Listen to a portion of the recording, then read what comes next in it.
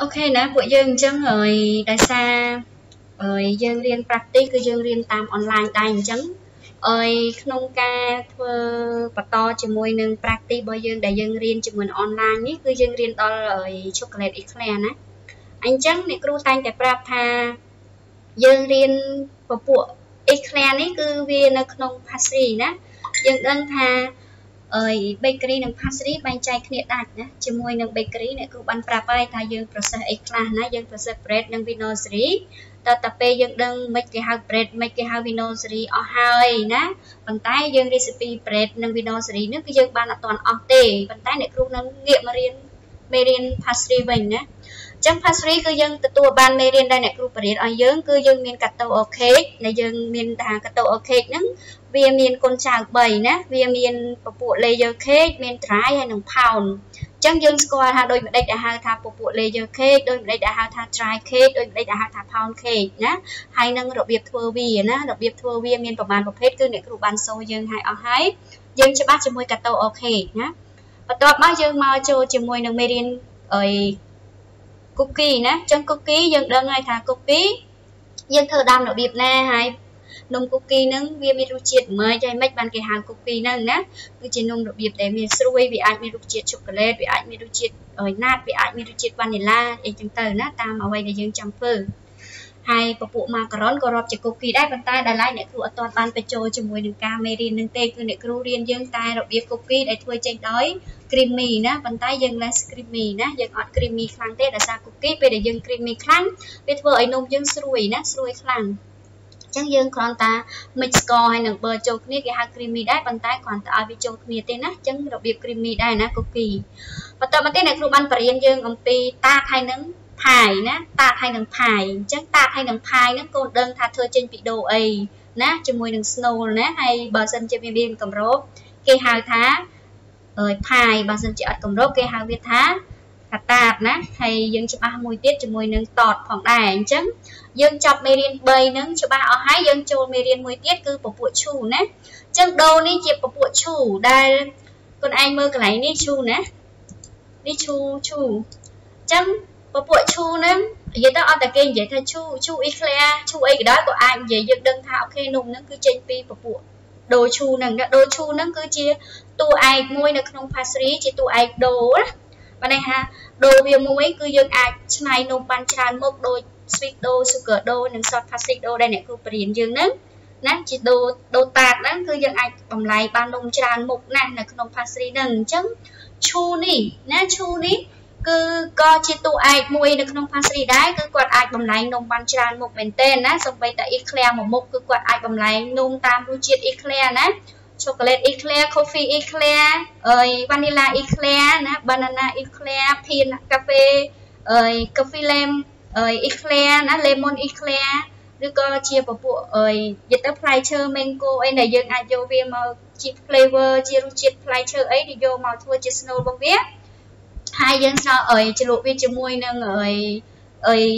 ហ្វង់ដងណាជាជាជាហ្វង់ដងយើងលាយ color លាយអីតាមតម្រូវតាមភ្លើផ្លែឈើនៅវាមក គឺយើងអាចបង្កើតបានជា eclair យ៉ាងច្រើនមុខមែនតើណាអញ្ចឹងពាក្យថា eclair អញ្ចឹងឥឡូវអ្នកគ្រូរៀនមេរៀនទី1ដែលធ្វើចេញពីឈូនេះណាឈូដូនេះអញ្ចឹងឈូដូហ្នឹងវាមានឈ្មោះ3ដូចអើយ sugar dough salt pastry dough ជាមួយនឹងដូតាតជាងហ្នឹងណាគឺវាមានឈ្មោះ3ដូចគ្នាណាតាមកន្លែងដែលគេហៅអញ្ចឹងអ្នកគ្រូឲ្យយើងដឹងទៀតឈ្មោះហ្នឹងជួនកាលគេហៅវាថាឈូដូជួនកាលគេហៅវាថាឈូ pastry dough ជួនកាលទៀតគេហៅវាថាដូអ៊ីក្លែងណាតែដូអ៊ីក្លែងអញ្ចឹងទៅអញ្ចឹងយើងដឹងពីឈ្មោះទាំង3ហ្នឹងហើយដូហ្នឹងណាជា basic ជា basic គឺអ្វីដែលយើងដឹងច្បាស់គឺឈូណាពាក្យថាឈូឈូដូណាចឹងឈូដូហ្នឹងបើសិនជាគេចង់ធ្វើស្វានគេបើកូនចង់វាយក្នុងអ៊ីនធឺណិតកូនគ្រាន់តែវាយថាអី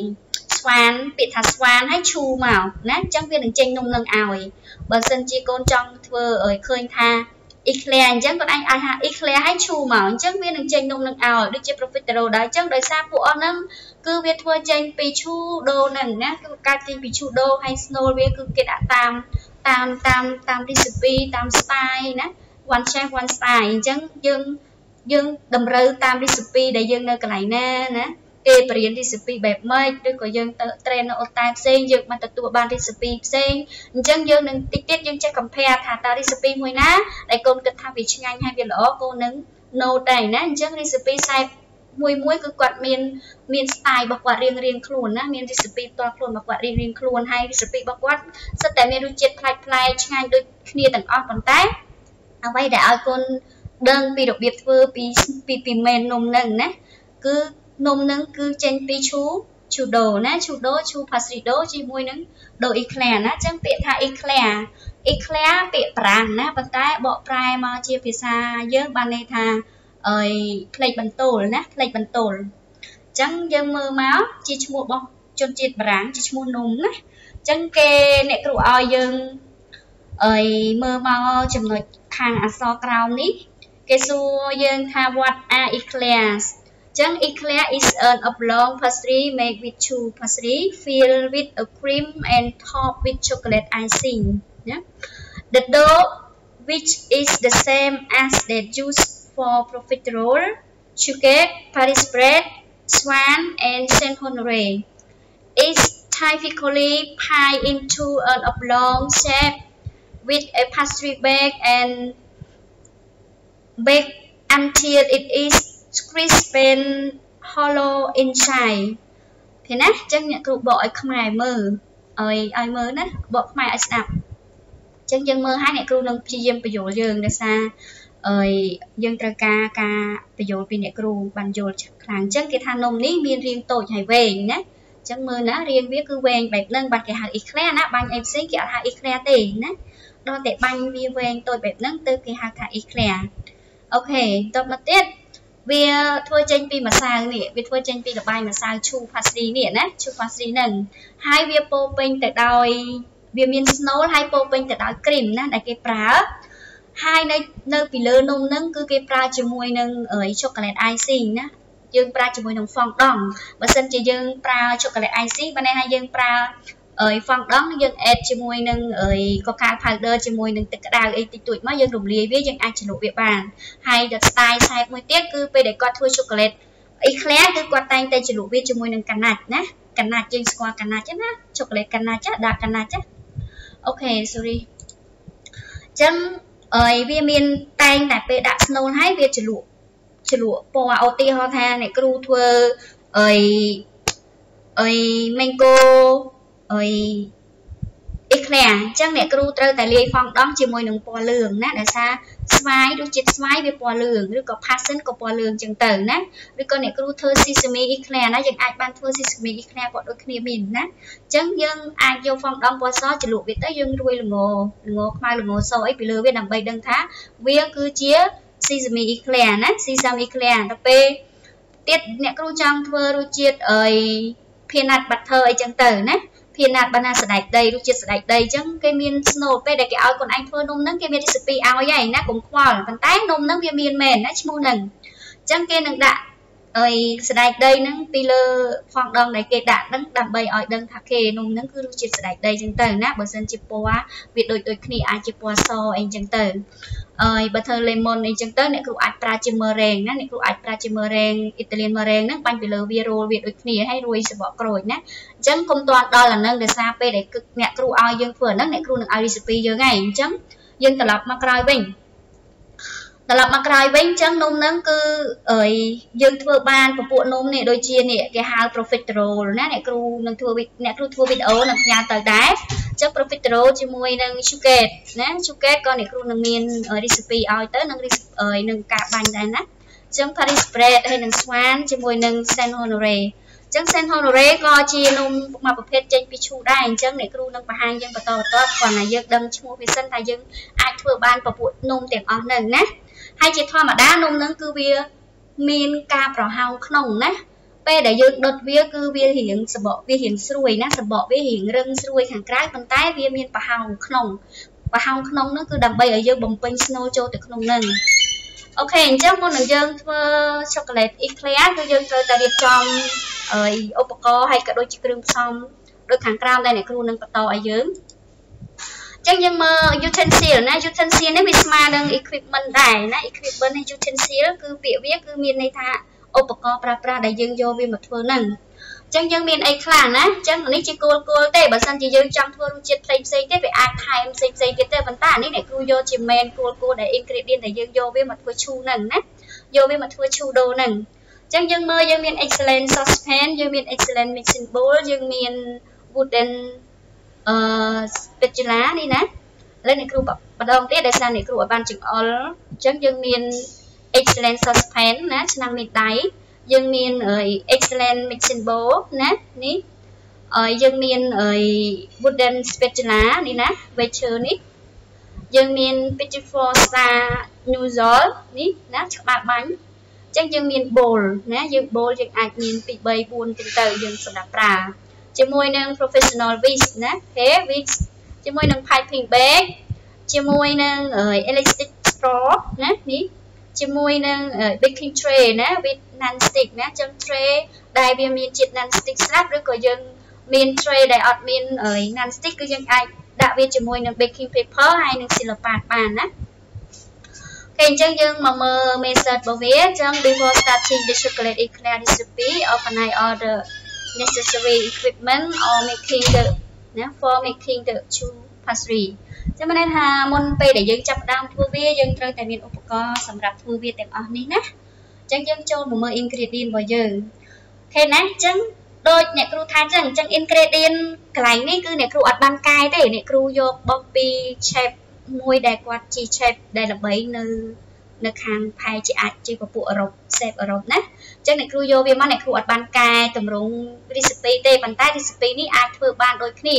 ដល់តែពេលយើងយើងមាន recipe ផ្ទាល់ខ្លួនណាចឹង recipe ផ្ទាល់ខ្លួនអ្នកគ្រូអត់អាចបង្ហាញទូទលំទលាយទេចាព្រោះជាកម្មសិទ្ធិរបស់យើងណាជាកម្មសិទ្ធិរបស់យើងព្រោះយើងជាអ្នកណាយើងជាអ្នកបញ្ចេញបញ្ចូលរូបរសជាតិនឹងចូលទៅក្នុងខ្លួនឯងណាបិទថាថាវាចេញពីនឹងមកមែនប៉ុន្តែយើងអាច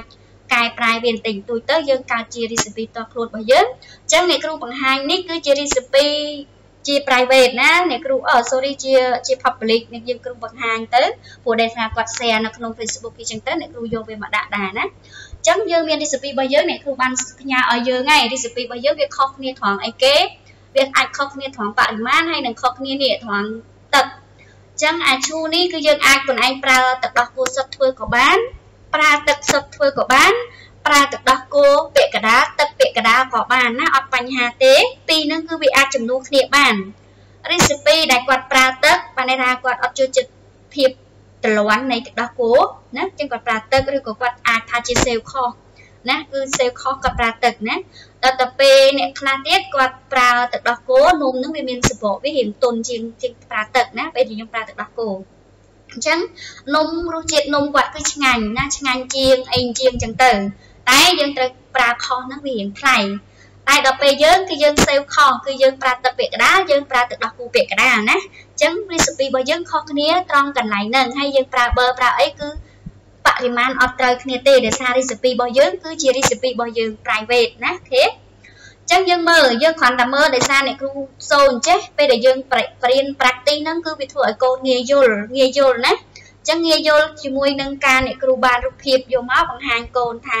អូខេមុននឹងយើងធ្វើគឺយើងមានគ្រឿងផ្សំទាំងអស់នឹងណារៀបមកគឺមានទឹកមានប៊ឺណាបើបើយើងមានទឹកនិងទឹកដោះគោលាយចូលគ្នាគឺទឹកនេះអត់កើតជាទឹកសាបទេគឺវាមានទឹកដោះគោនិងទឹកណា recipe របស់យើងអញ្ចឹងពងដូចគ្នា4គ្រាប់ដូចគ្នាណា អូខេយើងខុសគ្នាបរិមាណប៊ឺបរិមាណម្សៅបន្តិចប៉ុន្តែនំយើងគឺឆ្ងាញ់ណាអ្នកគ្រូសូមប្រាប់ថានំបាយយ័នគឺឆ្ងាញ់អូខេអញ្ចឹងយើងមើល method ណា before starting the chocolate eclair recipe organize all the necessary ingredient for the chew pastry ដូចគ្នាមិញរៀបចំឧបករណ៍ឥឡូវនេះរៀបចំគ្រឿងអញ្ចឹងគ្រឿងហ្នឹងថ្លឹងឲ្យអស់រៀបចំឲ្យអស់ហើយយើងនឹងចាប់ផ្ដើមធ្វើណាអញ្ចឹង method បន្តណារបៀបធ្វើបន្តឃើញទេក៏ដាក់បែបហ្នឹងអញ្ចឹងគឺធ្វើឲ្យកូននឹងងាយយល់មែនតើអញ្ចឹងយើងមើលណា For the two pastry, now place the butter, salt, sugar and water in the saucepan on the heat ចឹងបានន័យថាយើងយកគ្រឿងផ្សំលើកលែងតែពងហើយនឹងម្សៅទេណាគ្រឿងផ្សំមិញហ្នឹងគឺលើកលែងតែពងហើយនឹងម្សៅទេអញ្ចឹង យើងយកពងមាន់ទុកផ្សេងយកម្សៅទុកផ្សេងយើងយកប៊ឺយកទឹកយកស្ករយកអំបិលយកមកដាំណាយកមកដាំអញ្ចឹងយើងដាំវារហូតដល់វារហូតដល់វាពុះអញ្ចឹងយើងមើលវាពុះណាវាពុះហើយអញ្ចឹងគេប្រាប់យើងទៀតថានេះការដាំហ្នឹងគឺរហូតដល់ពុះណាបានថា bring to boil and sear boiling ណាអញ្ចឹងដាំវាពុះហើយយើងធ្វើមិនទៀតអញ្ចឹងគេប្រាប់យើងបន្តទៀតដែរអញ្ចឹងពេលដែលវាពុះយើងមិនថ្លឹងម្សៅហើយណាត្រូវអត់គ្រឿងមិញណាអ្នកគ្រូប្រាប់ហើយថារៀបចំគ្រឿងម្សៅហើយហើយអញ្ចឹងយើងនឹងធ្វើការបិទចក្រានឬក៏យើង remove ឆ្នាំងរបស់យើងចេញពីលើចក្រានណាហើយយើងចាក់ម្សៅហ្នឹងគឺម្ដងហ្នឹងឲ្យអស់តែម្ដងណាហើយយើងបិទភ្លើងណាឆ្នាំកន្លែងនេះគឺយើងបិទភ្លើងហើយពេលដែលយើងចាក់ម្សៅចូលទៅណាមើលគេដាក់ remove from the heat and pour all the flour at once បានន័យថាចាក់វាចូលតែម្ដងឲ្យអស់អត់មានចាក់ម្ដងបន្តិច one by one នេះណាអញ្ចឹងកន្លែងនេះយើងចាក់ហើយយើងធ្វើមិនទៀតណាពេលដែលយើងចាក់ហើយគឺយើងធ្វើការយកណា wooden spatula ហ្នឹងយកមកកូរវាណា stir with wooden spatula until there are no more lump បានន័យថាកូរវារហូតដល់តែវាអត់មានគ្រាប់មានមានមានគ្រាប់ដុំដុំទេគឺឲ្យវា smooth ចូលទៅវាវារលោងលុញបានជាបាល់ជាដុំបាល់ហើយវាអត់ជាប់នៅបាត់ឆ្នាំងទេអញ្ចឹងយើងមើលបន្តទៀតណាអញ្ចឹងបន្ទាប់ពីយើងយកអានឹងមកកូរវាហើយភ្លើងអត់មានទេណាភ្លើងអត់មានទេអាចបិទចក្រានហើយកូរលើលើចក្រានបានប៉ុន្តែក៏អាចដកឆ្នាំងចេញពីចក្រានបានដែរណាកូរវាទៅហ្នឹងកន្លែងហ្នឹងណាបើសិនជាមានករណីដែលយើងកូរវាទៅយើងបិទចក្រានហើយយើងកូរវាទៅវានៅស្អិតជាប់ឆ្នាំងវាអត់ទាន់ដាច់ពីបាតឆ្នាំងដូចដែលយើងឃើញគឺយើងអាចបើកភ្លើងតិចតិចបន្តិចទៀតណាមកផ្លែទៀតបានណា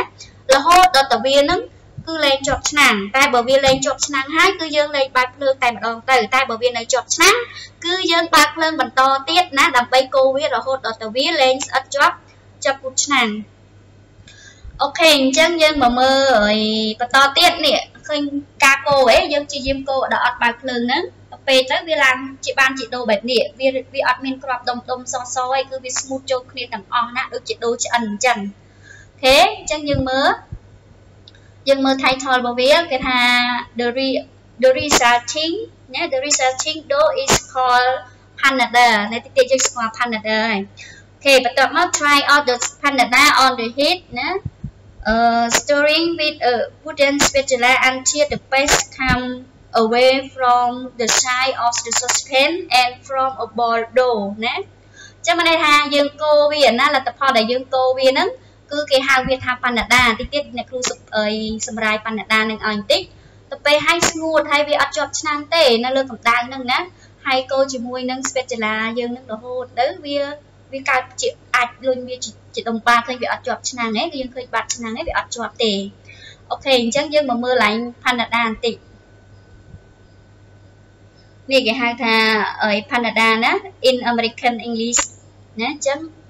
នេះមើលស្រាក់របស់គេ Panada ណា Panada អូខេអញ្ចឹងអី a stick soft or paste made uh, with bread crumb meal and seasoning offer serve with roast uh, while float of osmit ណាបានន័យថាអាអា while float while float នេះបានន័យថាជាសាច់បាក់សីព្រៃអីអញ្ចឹងទៅតែបាច់បាច់ ចាប់អារម្មណ៍ពីវាឯងពួកយើងគេទៅពួកយើងអត់ទាន់បានធ្វើសោះគេហៅថាអី bechamel សោះណាពេលជំនាញសោះថ្ងៃមួយអ្នកគ្រូនឹងសូយើងហើយយើងដឹងហើយថាសោះហ្នឹងវាធ្វើចេញពីម្សៅធ្វើនំហ្នឹងហើយគេកូរវាឲ្យស្ងួតចឹងទៅគេហៅវាថាពាក្យនៃរបស់វាដែលគេនិយាយថាប៉ាណាដាហ្នឹងដូចអ្នកគ្រូនិយាយថាស្តៀងឲ្យពាក្យមូសេលីននេះចឹងណា ចឹងមូសេលីនមានន័យថាម៉េចគឺកូនដឹងថាមូសេលីនមានន័យថាម៉េចចឹងមូសេលីនហ្នឹងមានន័យថាគ្រីមចាប់ពីពីមុខចូលលាបញ្ចូលគ្នាគេហៅថាមូសេលីនចឹងអាពាក្យនៃរបស់វាហ្នឹងគេហៅថាផាណាដាមួយម៉ាត់គឺយើងយល់ថាជាពពួកសោះដែលធ្វើចេញពីសាច់សាច់ដូរម្សៅជាមួយទឹកដោះគោជាមួយនឹងគ្រឿងផ្សំផ្សេងផ្សេងកូរវារហូតដល់តែវាខាប់ឬក៏យើងកូរវារហូតដល់ស្ងួតចឹងគឺគេហៅវាថាផាណាដាណាចឹងផាណាដាចឹងដោយសារកន្លែងនេះកូន អាចស្ទើរនឹងយល់ប៉ុន្តែយើង keep វាទៅយើងបន្តវាទៀតណាចាំយើងយល់នៅពេលដែលយើងបានធ្វើជាមួយនឹងសោះផ្សេងផ្សេង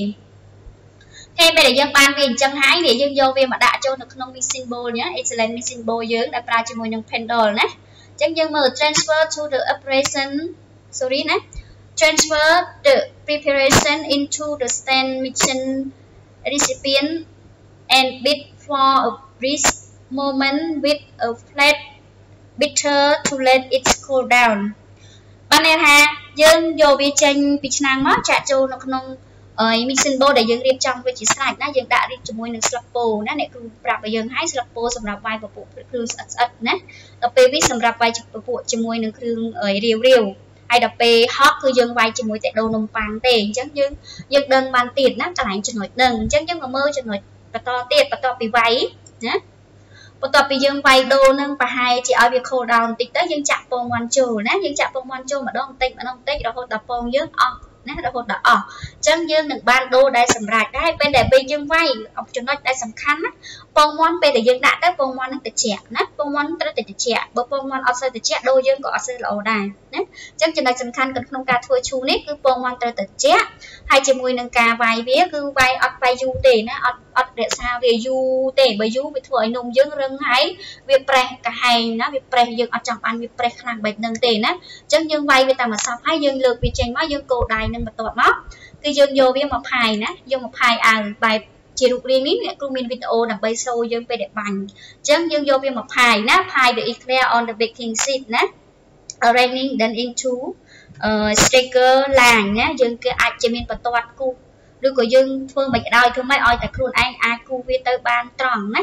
អាចវាបានត្រង់ឬក៏ dialect um should not exit ណា exit to អឺ12 to 30អឺ cm ណាបើន័យថាពេលដែលយើងបាញ់វាគឺកម្ពស់អីប្រវែងរបស់វាអត់ឲ្យលើសពី12ទៅ13សង់ទីម៉ែត្រទេណាគឺប៉ុណ្ណឹងអត់ឲ្យវែងពេកទេអូខេអញ្ចឹងយើងបន្តមកទៀតគឺយើងមុននឹងដុតណាមុននឹងដុត to brush a yolk with fresh milk on the top before bring to bake ណាពេលដែលយើងបាញ់រួចរាល់អស់ហើយយើងលាបពងមាន់ជាមួយលើវាហ្នឹងហើយយើងយកវាទៅដុតអញ្ចឹងពេលដែលយើងដុតទៅក្រាស់ណា until golden and hollow បានន័យថារហូតដល់វាពណ៌ក្រហមហើយវាមានប្រហោងក្នុងណា ចឹងដុតវារហូតសេតនភាពហ្នឹងគឺជាទូទៅអ្នកគ្រូដុតពី30ទៅ35អាចបើវាតូចយើងថយតាមនឹងណាបើវាធំជាងហ្នឹងយើងថែមតាមនឹងតិចទៅណាតែជាទូទៅគឺដូចគ្នាវាដុតយូរណាចាប់ពី20នាទីទៅ35នាទីទៅយើងឆ្អិនណាអញ្ចឹងវានឹងឆ្អិនកាន់ជាពណ៌បែបនេះណាហើយយើង remove វាចេញទុកមកគឺយើងទុកម្ដុំណាអញ្ចឹងកន្លែងនេះគឺអ្នកគ្រូប្រាប់យើងទៅតែ ដូរតានេះយើងនៅ snow យើងនៅ snow ជាមួយនឹងវីដេអូជាមួយអ្នកគ្រូទៀតណាដែលអ្នកគ្រូធ្វើអត់ទាន់អស់ជាមួយនឹង snow ទេហើយអ្នកគ្រូនឹងបង្ហាញយើងធ្វើម៉េចឲ្យចេះធ្វើតែឈូសិនពេលដែលយើងចេះធ្វើឈូនេះលបាយឈូដែលយើងបញ្ចប់ជាមួយពងនេះហើយនេះយើងយកវាមកបាញ់អីក៏បានដែរណាយើងចង់បាញ់អ៊ីក្លាយើងបានអ៊ីក្លាយើងបាញ់ស្មានយើងបាញ់ស្មានយើងបាញ់ profiterole យើងបាន profiterole ណាតែការប្រើជាមួយ snow បន្តិចទៀតទៅអញ្ចឹងនេះយើងបានលបាយនឹងហើយយើងចេះធ្វើលបាយនឹងហើយគឺបានន័យថាយើងចេះធ្វើឈូហើយណា